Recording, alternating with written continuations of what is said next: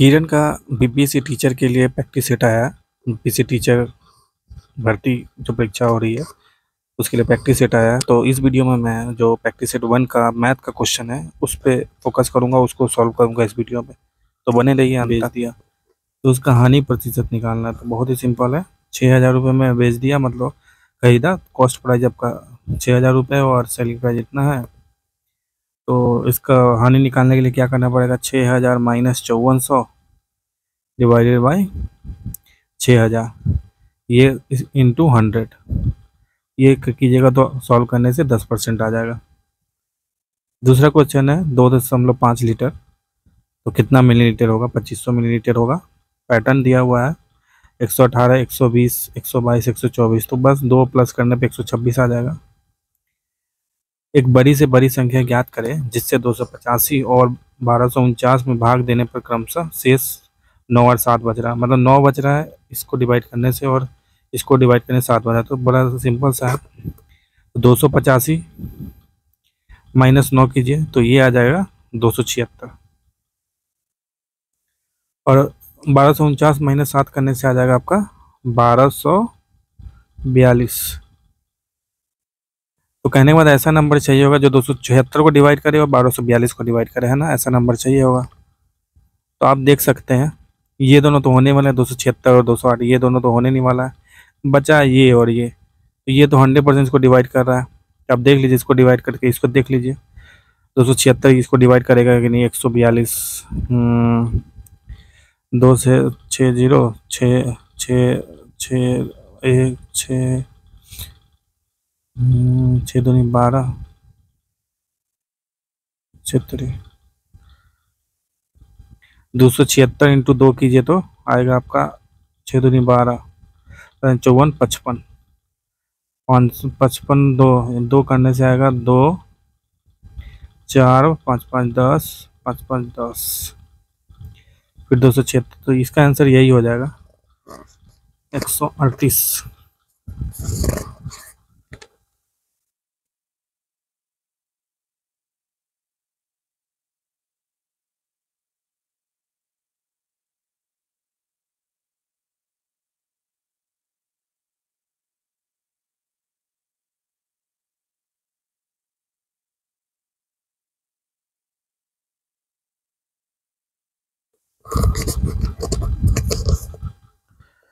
पांचवा क्वेश्चन है A B C D पाँच अंकों की संख्या है और प्रत्येक में नौ केवल एक बार आया, देख सकते हैं नीचे। और इसका स्थान दर्शाया गया है। शेष अंकों के बारे में कुछ भी ज्ञात नहीं है। देख सकते हैं, ये नंबर इस तरह से है मतलब नौ है, पहले ही अंक पे यहाँ पे है, यहाँ पे यहाँ पर है, यहाँ पर है, यहाँ पर है, फिर यहाँ पे है। तो जैसे यहाँ पे कोई नंबर होगा नौ, पाँच, चार, तीन, दो, कितना भी होगा, नौ अगर शुरू में है तो वो सबसे बड़ा नंबर होगा। मतलब ए यहाँ पे सबसे बड़ा नंबर और इस यहाँ पे देखा जाए इस चारों में सबसे छोटा नंबर डी हो जाएगा। तो ऑप्शन देख लेते हैं। चारों संख्या में डी सबसे छोटी संख्या, सही बात है डी सबसे छोटी संख्या होंगी।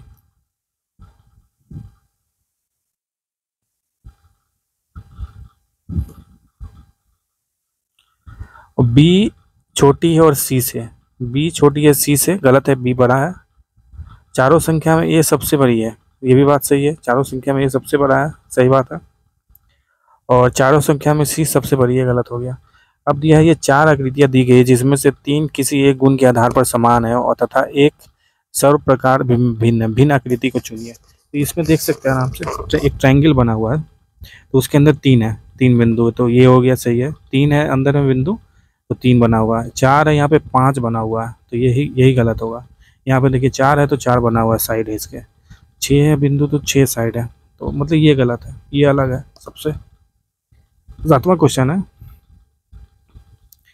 मेरा जन्मदिन मेरे भाई के जन्मदिन के चौंसठ दिनों बाद पड़ता है। मेरे, यदि मेरे भाई का जन्मदिन सोमवार को पड़ता है तो मेरा जन्मदिन किस को पड़ेगा? बड़ा सिंपल सा है। चौंसठ को सात से डिवाइड कीजिए। ये आ जाएगा। अच्छा तो छप्पन नौ सौ तो तिरसठ। एक एक्स्ट्रा होगा।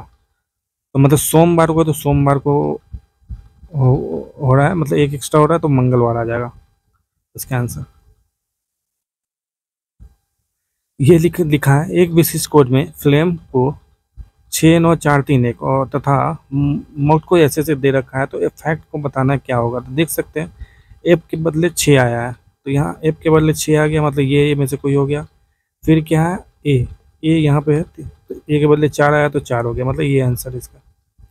नमक को पक्षी जैसे घोंसले से संबंधित, वैसे आदमी किसे संबंधित? तो पक्षी जैसे घोंसले से संबंधित। पक्षी कहाँ रहती है? घोंसले में रहती है। तो आदमी कहाँ रहता है? घर में रहता है। ऐसे कुछ लोग दुकान, कार्यालय, विद्यालय में भी रहते हैं। वो अलग चीज़ है।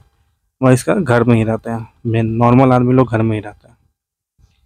आकृति को, कागज़ को मोड़ के छेदने और खोलने के बाद किस प्रकार आकृति जैसे दिखाई देगी? तो ये हमें देखना है कि ऐसे ऐसे करके मोड़ा जा रहा है इसको। एक पेज है ऐसे। फिर उसको ऐसे मोड़ा गया, आधा करके। फिर उसको ऐसे मोड़ा गया। फिर उसको ऐसे मोड़ा गया। फिर ऐसे, फिर मोड़ने के बाद इसको काट दिया गया यहाँ से। अब इस इस काटने वाले में फोकस कीजिए। ये जो काटा गया, ये ये ये। ये देखिए सेंटर है। जितना भी है, इसके ही मतलब इसी से इसी से कागज़ बनेगा। ये सेंटर है मतलब ये सेंटर के बगल में कितना आपका छेद आएगा? चार छेद आएगा। तो ये देखिए सेंटर के बगल में चार छेद है, यहाँ भी चार छेद। ये बहुत ज़्यादा है। ये सब नहीं होना। मतलब ये दोनों में आंसर में से कोई होगा। अब इस छेद पे फोकस कीजिए। ये छेद जो है ना, इसको जब मोड़ा जाएगा, खोला जाएगा तो ये कॉर्नर पे आएगा। कहने का मतलब ये यहाँ पे छेद है तो यहाँ पे आएगा। फिर इसको ऐसे मोड़ा तो मतलब यहाँ भी आएगा। फिर क्या किया गया है? फिर इसको ऐसे खोला गया फिर इस मतलब इसको जब खोला जाएगा, ऐसे इधर आएगा तो इधर भी ऐसे आएगा ये, ऐसे आएगा। ऐसे आएगा ये, ऐसे। जब ये ऐसे आएगा तो यहाँ का जो छेद है, यहाँ भी दिखेगा। मतलब यहाँ छेद दिख गया, यहाँ छेद दिख गया। ऐसे ही। फिर क्या हो गया? इसको फिर उल्टा किया जाएगा तो ऐसे ही उल्टा उल्टा जाएगा। यहाँ का छेद यहाँ भी दिखेगा, यहाँ भी दिखेगा, यहाँ भी दिखेगा और इधर भी दिखेगा। इधर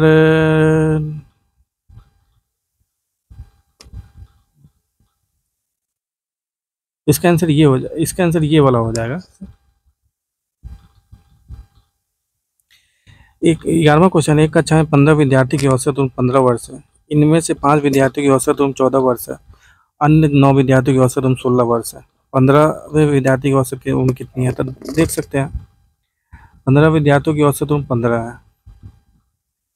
पंद्रह विद्यार्थियों की औसत उम्र पंद्रह है। पाँच विद्यार्थियों की औसत उम्र चौदह है और अन्य नौ विद्यार्थियों की औसत उम्र सोलह है। पंद्रह चौदह नौ कितना? तो तेईस हो जाता है।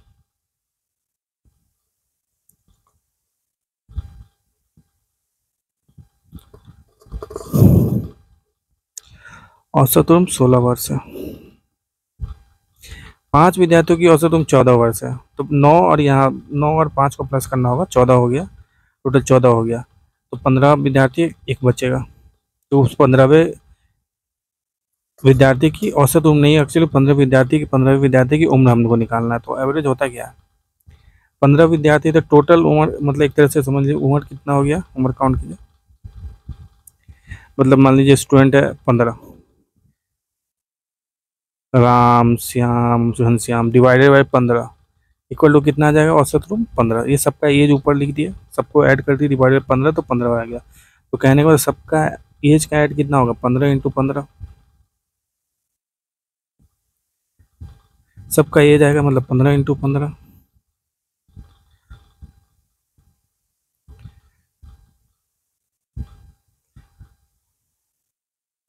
तो पंद्रह ऐसे ही पंद्रह पंद्रह करके पंद्रह इंटू पंद्रह एज आ गया। फिर है पाँच विद्यार्थियों का चौदह वर्ष। ऐसे ही पाँच विद्यार्थियों का टोटल उम्र एक तरह से देखा जाए तो कितना होता है? चौदह इंटू पंद्रह। प्लस नौ विद्यार्थियों का इतना हो गया, नौ इंटू सोलह। प्लस पंद्रहवा आदमी बच गया। क्योंकि यहाँ पे देखिए नौ विद्यार्थियों के प्लस चार, पंद्रह पाँच विद्यार्थी तो चौदह विद्यार्थी प्लस एक पंद्रहवा विद्यार्थी। ये जो होगा ना, ये माइनस कर दीजिए इसमें। पंद्रह इंटू पंद्रह याद करके रखिए, दो सौ पच्चीस होता है। ये सब याद होना चाहिए, ऐसे बड़े बड़े एग्ज़ाम के लिए, ये सब एग्ज़ाम में जहाँ पर शॉर्टकट हो, कम से कम बीस तक तो याद होना ही चाहिए स्क्वायर कितना होता है। तो ये होता है 225 ये होता है चौदह पच्चीस सत्तर होता है, सोलह नौ होता है एक सौ चौवालीस।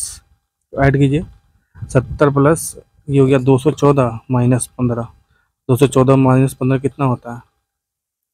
ग्यारह हो जाता है तो ग्यारह इसका आंसर है, दो, ग्यारह इसका आंसर है। अब बारहवा क्वेश्चन देखते हैं। एक वस्तु का क्रय मूल्य विक्रय मूल्य का चालीस परसेंट तो विक्रय मूल्य क्रय मूल्य का कितना है? बड़ा सिंपल सा। क्रय मूल्य मतलब विक्रय मूल्य क्रय मूल्य मतलब कॉस्ट प्राइस इक्वल टू चालीस परसेंट ऑफ़ सेलिंग प्राइस ठीक? तो उसमें सेलिंग प्राइस कितना हो जाएगा? मतलब सेलिंग प्राइस इक्वल टू चालीस परसेंट का मतलब क्या होता है? चालीस परसेंट का मतलब होता है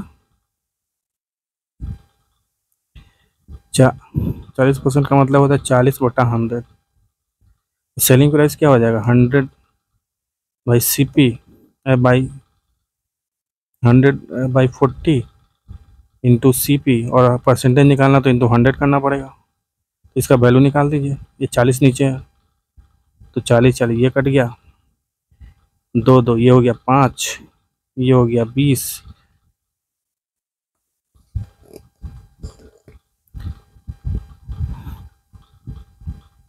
ये हो गया पचास तो ढाई दो पचास इंटू पाँच कितना हो जाता है? पच्चीस ढाई सौ परसेंट ढाई सौ परसेंट का भी, भी आंसर हो गया। मेन कंसेप्ट समझते रहिए कैलकुलेशन करते रहिए। पाँच अंकों की सबसे बड़ी संख्या एवं छः अंकों की सबसे छोटी संख्या का अंतर कितना है? तो पाँच अंकों की सबसे बड़ी संख्या क्या बना सकते हैं? पाँच अंक एक नौ नौ होता है तीन चार पाँच। और छः अंकों की सबसे छोटी संख्या, वो होता है ज़ीरो ज़ीरो करके छः अंकों की तो ये है सबसे छोटी संख्या। आपको क्या लगता है, कितना गैप है? इसमें एक ऐड कर दीजिए, पूरा ये छः अंक का बजे तो। एक आंसर है, बीस ग्राम की, बीस किलोग्राम कितने ग्राम का चार परसेंट है? ये बड़ा निकालना है। तो बीस ग्राम, ये, यही लिख दीजिए, बीस किलोग्राम। चार परसेंट ऑफ़, मान लीजिए एक्स का है तो एक्स बस। इसका सॉल्व कर दीजिए चार परसेंट मतलब चार बटा सौ मतलब चार इंटू पच्चीस पच्चीस इंटू बीस, कितना हो जाएगा? पच्चीस दूनी पचास, पाँच सौ किलोग्राम। मतलब पाँच सौ किलो, एक ऑप्शन इसका सही है। किसी शहर की आबादी पाँच परसेंट प्रति वर्ष की दर से बढ़ती है। यदि शहर की वर्तमान आबादी इतना है तो एक वर्ष पहले क्या होगी? तो पाँच प्रतिशत की दर से बढ़ती है। मान लीजिए पहले था कुछ एक्स तो पाँच प्रतिशत बढ़ गया मतलब कि एक सौ पाँच बट्टा सौ इंटू एक्स अभी का आबादी इक्वल टू आ गया अभी का आबादी। एक, आठ, पाँच, दो दो, ज़ीरो। अब इसको सॉल्व कीजिए। बड़ा मुश्किल है, मगर उतना भी नहीं। देखिए, ये इक्कीस होता है और ये बीस होता है। सॉरी इक्कीस पचे और बीस पचे सौ। ठीक हो गया। अभी कटेगा ही कटेगा, क्योंकि इसमें से आंसर आना ही है। मतलब इनमें से कोई भी है, वो अलग चीज़ है। इसको डिवाइड कर लीजिए। आराम से। बहुत बड़ा गैप होगा यहाँ पे, बन नहीं रहा है, इसलिए कर नहीं रहे हैं। अदरवाइज़ इसको डिवाइड करने से आएगा एट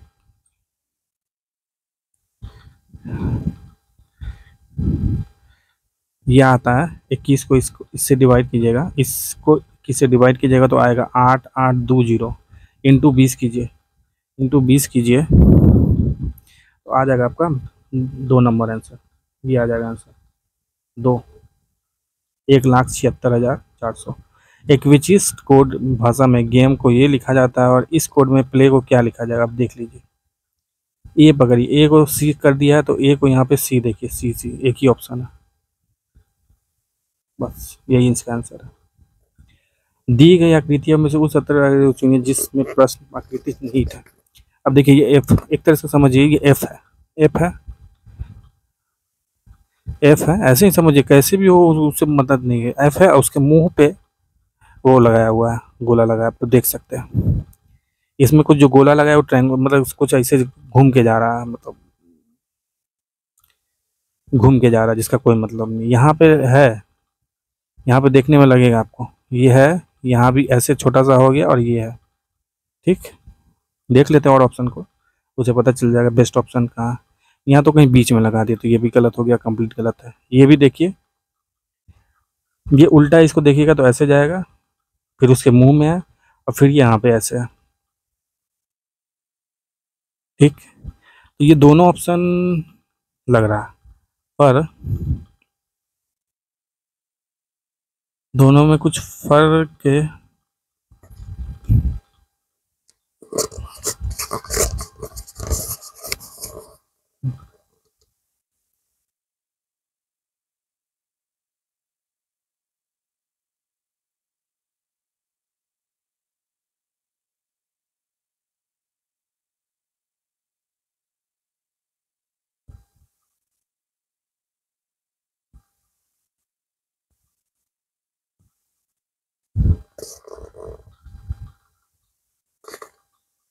इसमें तो दो और चार दोनों लग रहा है, दोनों में निहित है वो आकृति।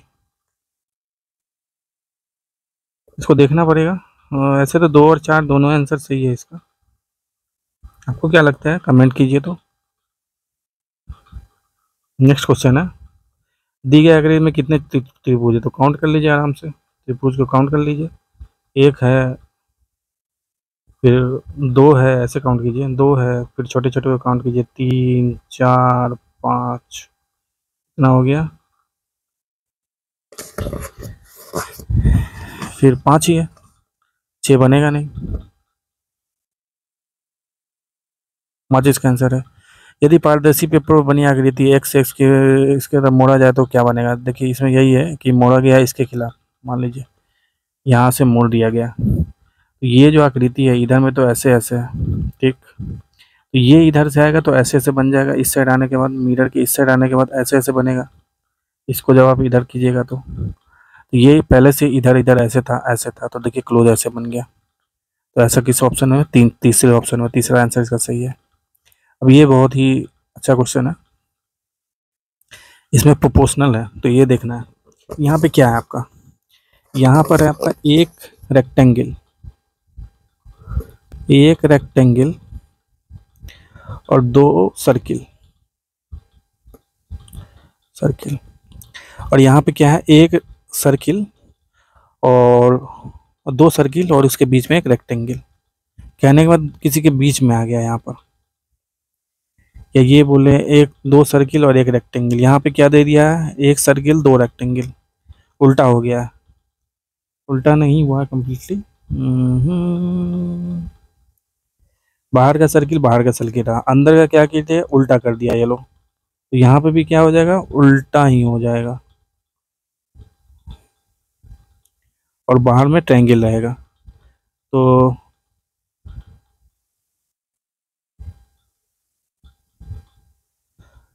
तो ये हो जाएगा इसका आंसर उल्टा करने के बाद मतलब अंदर का जो सर्किल है, वो बाहर सर्किल हो जाएगा और ट्रायंगल रेक्टेंगल अंदर चला जाएगा रेक्टेंगल अंदर चला जाएगा रेक्टेंगल बाहर में रहेगा। हम्म। ये चौथा इसका आंसर हो जाएगा इसको दे, ऐसे देखना है।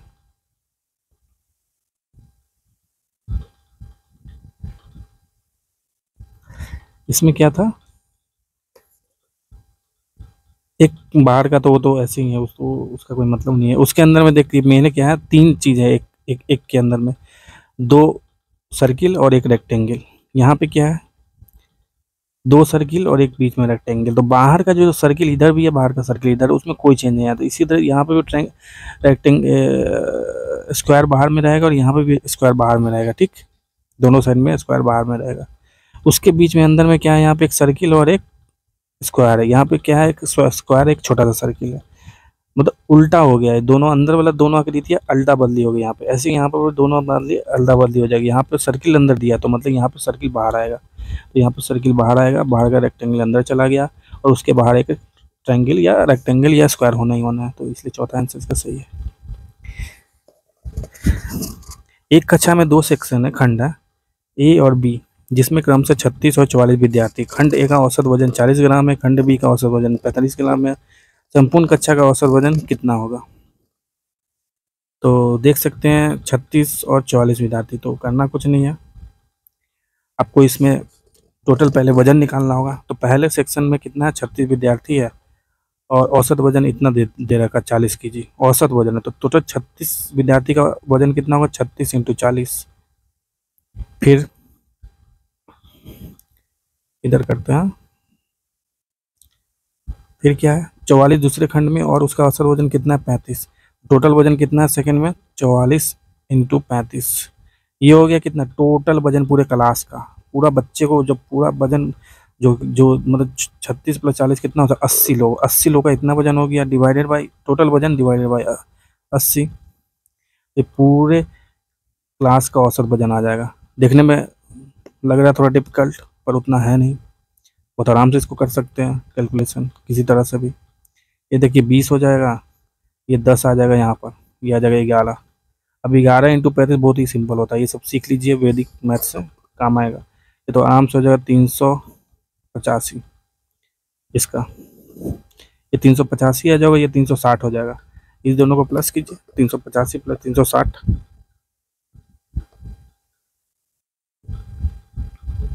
यहाँ जगह नहीं है, इसीलिए नहीं कर रहे हैं अदरवाइज़ बहुत आराम था, तीन सौ पचासी प्लस तीन सौ साठ होगा, सात सौ पैंतालीस। डिवाइड करना है बीस से तो सैंतीस दशमलव दो पाँच इसका आंसर है, तीन, तीसरा इसका आंसर है, तीन। तो नेक्स्ट क्वेश्चन है, यहाँ देखिए।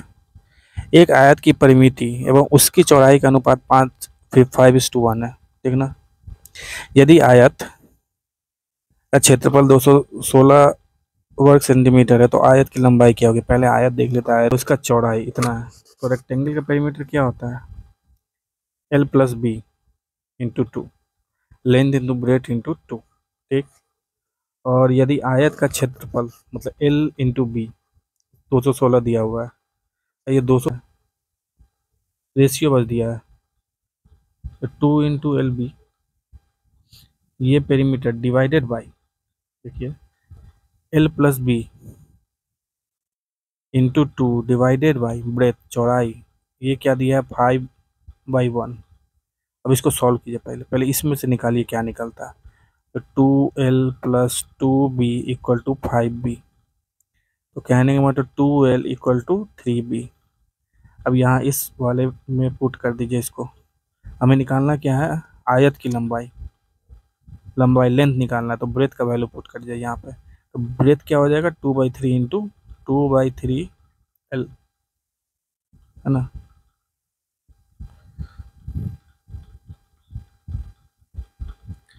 Two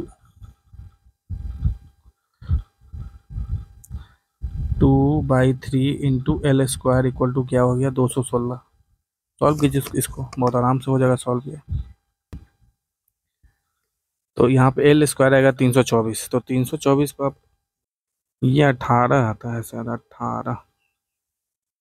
अठारह होता है तो लेंथ आपका कितना? अठारह सेंटीमीटर यहाँ पे आ जाएगा लेंथ लेंथ आपका आएगा अठारह सेंटीमीटर दो भिन्न, दो बटा, दो भिन्न, दो बाई, दो बटा पाँच तथा तीन बटा चार का योग निम्नांकित रूप से ज्ञात किया जा सकता है। हाँ तो आराम से कर लीजिए। नीचे पाँच इंटू चार हो जाएगा। नीचे पाँच इंटू चार हो जाएगा, फिर चार इंटू दो हो जाएगा। तीन इंटू पाँच हो जाएगा, बस यही आंसर है इसका। यदि चौथे बीसवा क्वेश्चन है, यदि एक व्यक्ति अपनी आय का पच्चीस परसेंट बचाता है, यदि वह प्रति माह तीन हज़ार रुपये की बजट करता है तो उसकी मासिक आय कितनी है? तो बड़ा सिंपल है। मान लीजिए उसका मासिक आय कुछ है एक्स एक्स बचाता कितना है? पच्चीस परसेंट ऑफ़ एक्स कितना दे रखा है? आपको दे रखा है तीन हज़ार रुपये पच्चीस परसेंट का मतलब क्या होता है? पच्चीस by divided by hundred into X हो गया तीन हज़ार रुपया। तो पच्चीस बाई हंड्रेड कितना होता है? चार। तो एक्स कितना हो जाए? बारह हज़ार रुपये तीन घंटियाँ, बारह मिनट, पंद्रह मिनट तथा अठारह मिनट में अंतराल में बजती है। यदि तो एक साथ बजना शुरू करती है तो पुनः वे कितने समय के बाद सात बजेगी तो इसमें क्या करना होता है? एलसीएम निकालना पड़ता है। तीनों का एलसीएम तीनों का एलसीएम कैसे निकालते हैं हम? बारह लिखते हैं। Two square into three. पंद्रह होता है थ्री इंटू फाइव। अठारह होता है तीन तिया थ्री स्क्वायर इंटू नौ दुनिया अठारह। तो एलसीएम क्या होगा? सबका आई एस थ्री स्क्वायर क्योंकि सब में तीन तीन है थ्री स्क्वायर आ जाएगा इधर से। इधर से टू स्क्वायर इधर से फाइव तो नौ नौ यहाँ पे चार आ गया, नौ चौका छत्तीस। छत्तीस इंटू पाँच कीजिए। छः पचे तीस छः पच्चीस, तीस, तीन, पाँच, तीन, पंद्रह, अठारह, एक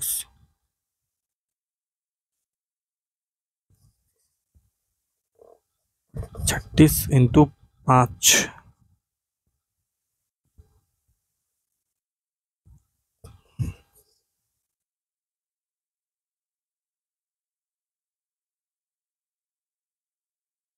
एक सौ अस्सी आ जाएगा। एक सौ अस्सी मतलब कितना होता है? तीन घंटा होता है, ठीक ना? विकल्प विषम विषम शब्द को चुनिए। कार, साइकिल, सड़क, ट्रक। अब देखिए, सब कुछ चलने वाला, सड़क रुका हुआ है। दिए गए विकल्पों में से लुप्त अंक ज्ञान कीजिए। देखिए, चार दूनी छः और दो का स्क्वायर करने पे चार आता है। तो छः, चार, दस दस, आठ, अठारह। दस, आठ, अठारह। तो आठ दूनी सोलह यहाँ पे आ गया। तो अठारह प्लस सोलह, चौंतीस। फिर सोलह इंटू दो। तो चौंतीस इंटू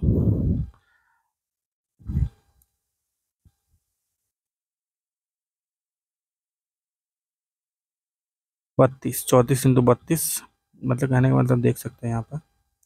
ये ऐसे बन रहा है। चार इन, चार प्लस दो इक्वल टू सिक्स।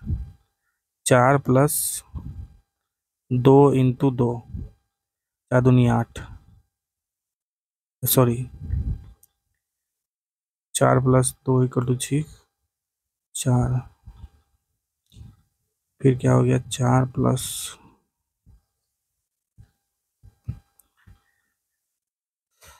सॉरी, यहाँ पे छः हो जाएगा। ये चेंज हो जाएगा छः, क्योंकि अब छः हो गया यहाँ पे।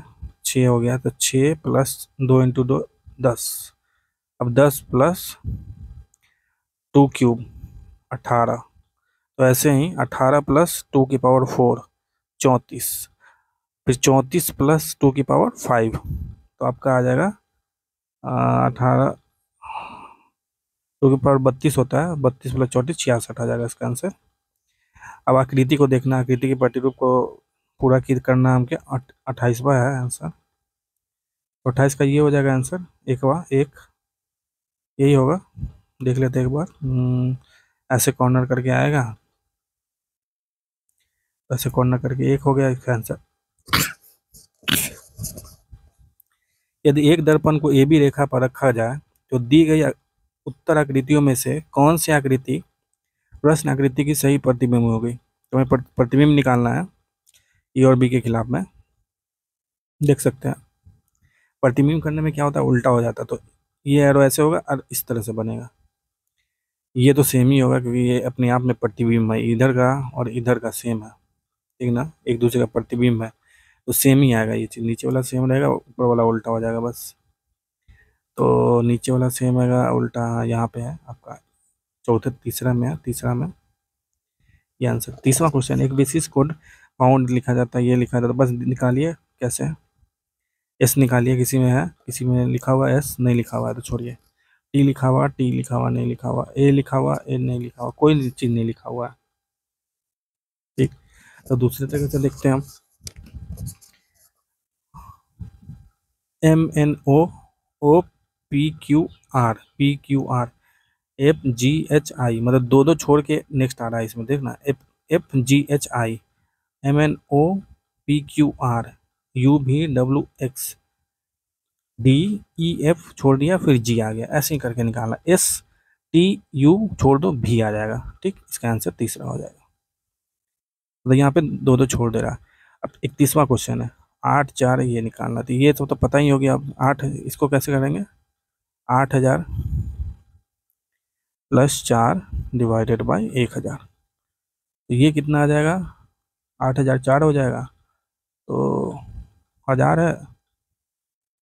तो आठ से तो गुन सुना होगा ये ज़ीरो ज़ीरो जो चार हो जाएगा ये। कितना शून्य देख लीजिए ये लग रहा है चौथा चार शून्य तो चौथा वाला हो जाएगा। बारह लीटर पचहत्तर मिलीलीटर दूध पचहत्तर मिलीलीटर धारिता वाला कि, कितनी बोतलों में भरा जा सकता है? अब देखिए बड़ा डिवाइड करना होगा इसमें। बारह लीटर, पचहत्तर लीटर मिली लीटर दूध पचहत्तर मिली लीटर धारता वाले कितनी बोतलों वाला है? मतलब इतना लीटर आपको दूध दे दिया कोई। अब पचहत्तर लीटर का मतलब केन है, समझ लीजिए बर्तन पचहत्तर मिलीलीटर वो कितना मतलब मिली लीटर में भरा जाएगा? देखिए, पचहत्तर मिली लीटर एक है दूध तो पचहत्तर तो एक तो पक्का आ गया। अब बटा बारह। अब बारह को पचहत्तर से डिवाइड कीजिए, बारह हज़ार को। बारह हज़ार मिली लीटर को पचहत्तर मिली लीटर से डिवाइड कीजिए। जो आएगा प्लस वन कर दीजिएगा, ये टोटल बोतल हो जाएँगे। क्योंकि पचहत्तर मिलीलीटर बारह दशमलव पचहत्तर मिलीलीटर है, ठीक? तो ये डिवाइड कीजिए आराम से। इसका आंसर आ जाएगा, आपको कर देता हूँ।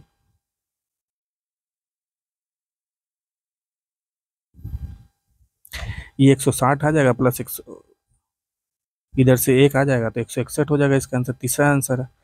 तो तैतीसवा क्वेश्चन है, आठ दशमलव पाँच सेंटीमीटर लंबाई और चौड़ाई वाले आयत का परिमाप कितना इसमें कुछ करना नहीं है, दोनों को इंटू करके निकाल लीजिए। अब देख सकते हैं, एक चीज़ देख लीजिए, आठ पच्चीस चालीस होता है, ठीक? तो इसमें निकालना भी नहीं है, आठ पच्चीस चालीस होता है आपका।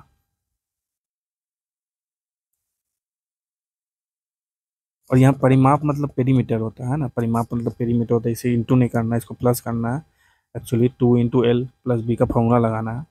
लिख देता हूँ मैं। Two into L plus B तो करना कुछ नहीं है। आठ दशमलव पाँच प्लस पाँच दशमलव दो पाँच, तेरह दशमलव सात पाँच आ जाएगा। इंटू टू कर देंगे तो सत्ताईस दशमलव पाँच आ जाएगा। तीन आंसर आंसर है। एक व्यक्ति पहले दिन बीस रुपये कमाता है। एवं दूसरे दिन पंद्रह रुपये खर्च कर देता। है वह तीसरे दिन पुनः बीस रुपये कमाता है और चौथे दिन पंद्रह कर देता। है वह किसी प्रकार बच, किसी प्रकार बजट करता है तो कब उसके पास साठ रुपये होंगे? करना कुछ नहीं है। देखिए, पहले दिन कमाया बीस, दूसरे दिन पंद्रह रुपये खर्च कर दिया। तो दो दिन के बाद उसको कितना बचा? पाँच रुपये ठीक? पाँच रुपये बचा।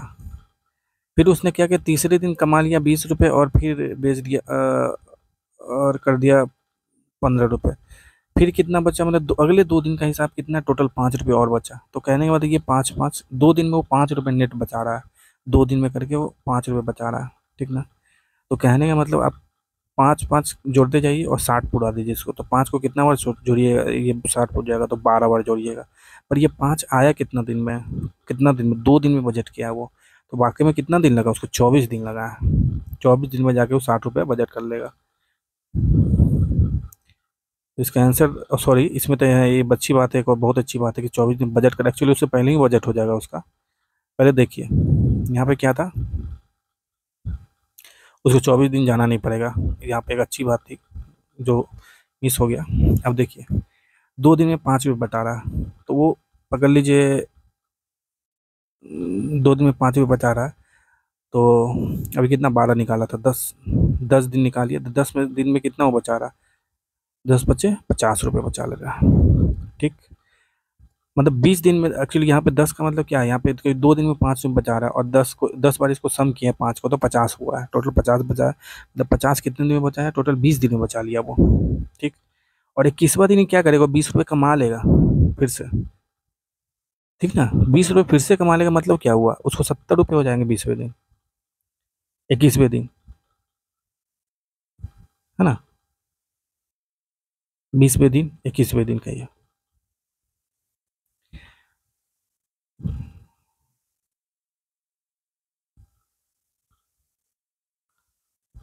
बीस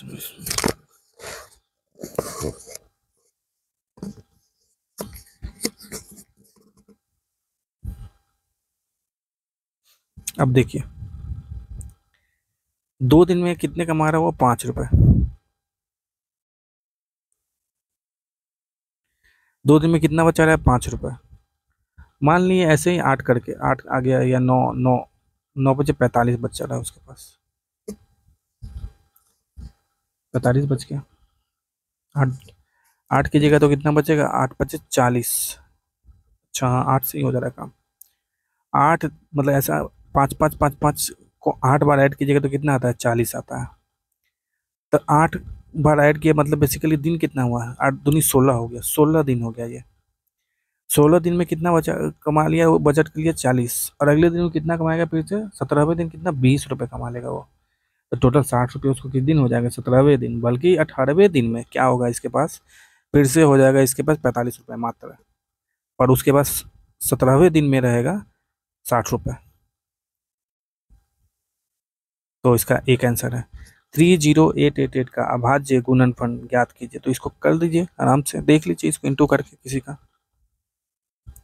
इसमें करना नहीं कुछ, देख लीजिए इंटू करके, और क्या?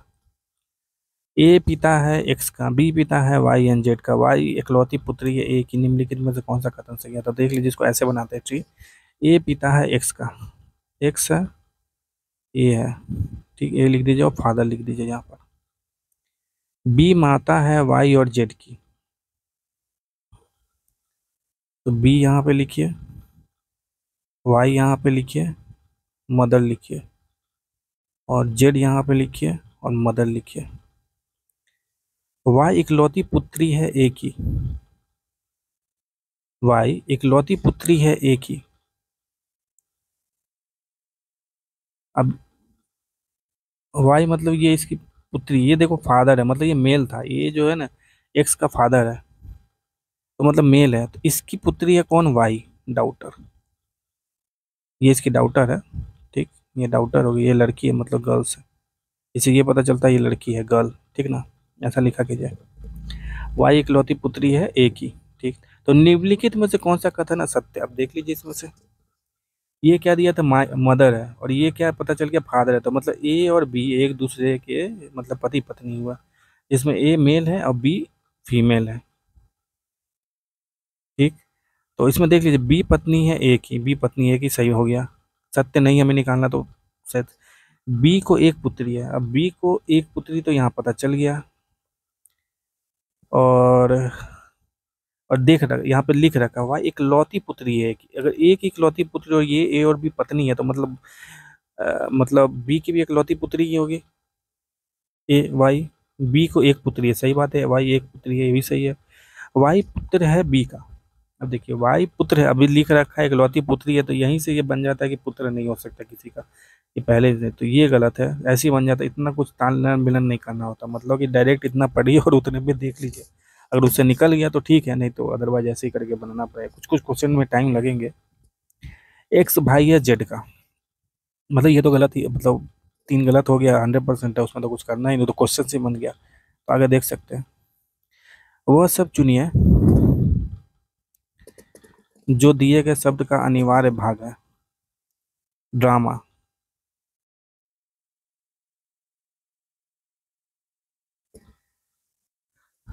दिए गए शब्द का अनिवार्य भाग है। ड्रामा। ड्रामा का क्या लिखा हुआ है? अनिवार्य भाग है। ड्रामा में सही बात, अभिनेता होता ही होता है। कहानी भी होती है, दर्शक होती है, निर्देशक होता है। अभिनेता मेन होगा। कहानी ना भी हो, ड्रामा कुछ भी चल जाता है। ड्रामा का मतलब सच में ड्रामा करते हैं। तो अभिनेता एक आदमी तो होना ही चाहिए। दर्शक हो चाहे ना हो, चलेगा। निर्देशक हो तो। हाँ यदि एक महीने की तेरहवीं तारीख को शनिवार है तो उसी महीने की तीस तारीख को क्या होगा? तो आराम से निकल जाएगा। तेरह और सत, तीस और तेरह में कितना का फ़र्क है, बताइए? सत्रह दिन का। सत्रह दिन का फ़र्क है। और दिन कितना दिन में रिपीट होता है? सात दूनी चौदह दिन में होता है। ठीक। आपका चौदह दिन में प्लस तीन एक्स्ट्रा आ गया तो शनिवार, रविवार, सोमवार और मंगलवार।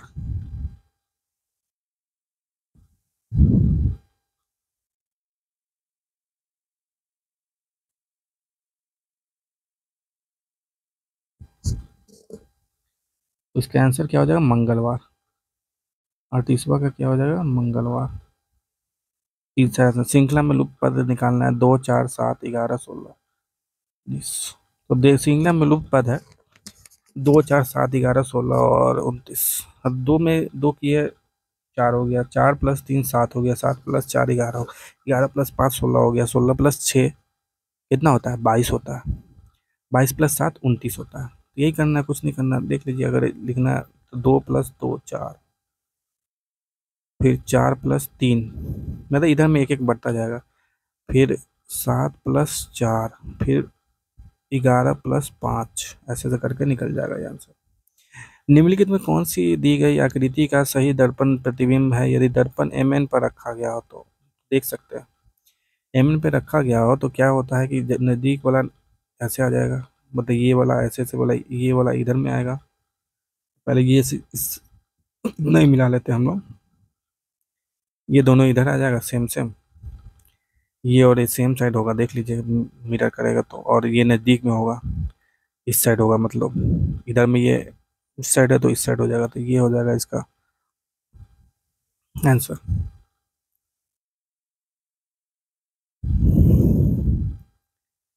तो ये था आपका चालीस क्वेश्चन सेट वन के मैथ का। ऐसे ही और वीडियो देखने के लिए चैनल को सब्सक्राइब कीजिए, धन्यवाद।